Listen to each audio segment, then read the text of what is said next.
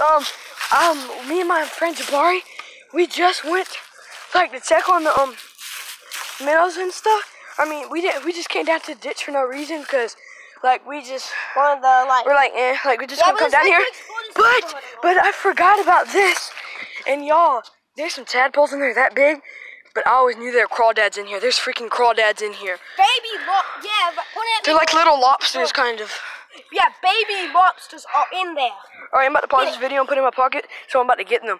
Uh, there's like a freaking big tadpole, so I'm gonna let that go. Or I might keep it, I don't know. But yeah, guys, that, I'm gonna keep the tadpole. But we need to get a bucket of water for the tadpoles at your house. Come on. all right, all right, we'll, we'll be back with you guys when we've got them in the cup.